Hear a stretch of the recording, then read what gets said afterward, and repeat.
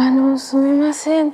Can I help you? あ、英語わかりません。ああ、どうしましたか？えーどうして電車は来ませんか？電車が遅延していて、まだ運転再開のめどが立たないので、振り替え輸送してるみたいですよ。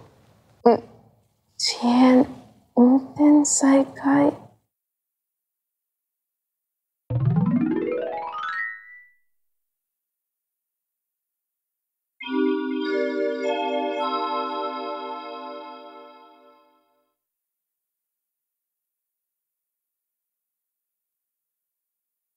あの、すみません。はい、どうしましたか？え、どうして電車は来ませんか？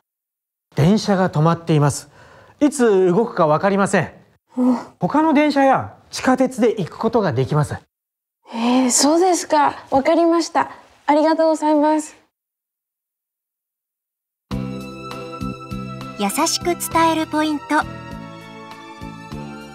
難しい言葉は簡単な言葉で言い換えましょう難しそうな言葉は相手の反応を見ながら他に簡単な言い方がないか考え言い換えましょう。まずは簡単な日本語で話しましょう。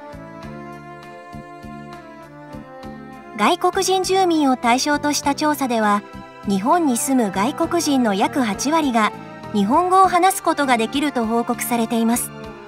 まずは簡単な日本語で始めて相手の反応に合わせて外国語など他のツールを使いましょう。